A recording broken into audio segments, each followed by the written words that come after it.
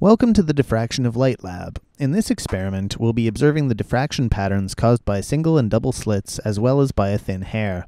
We'll be using your data to measure the laser's wavelength, the slit separation distance for a particular double slit, and the width of the hair.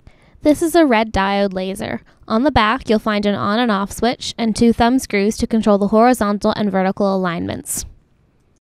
These are single and multiple slit discs. They can be placed in the beam path to produce diffraction patterns.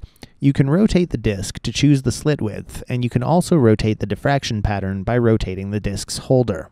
This is the aperture disc for the light sensor. The sensor is located behind the lowermost slit. You can change the amount of light that enters the sensor by rotating the disc, but know that this will affect the spatial resolution of your measurements. First, we'll turn on and aim the laser.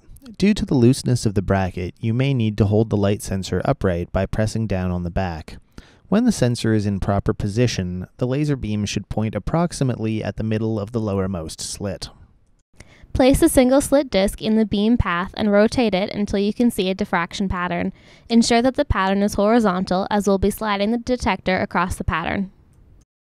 Open the Data Studio file on the desktop called Diffraction.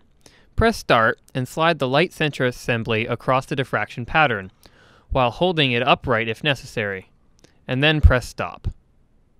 Press the auto scale button to zoom in on the relevant data. In this case, no side peaks are visible, and as such, we will need to increase the sensitivity with the switch on top of the light sensor, and try again. Press Start and slide the detector as before. This time, the side peaks of the resultant diffraction pattern are visible. Let's increase the sensitivity one more notch to show you what happens when it's too high.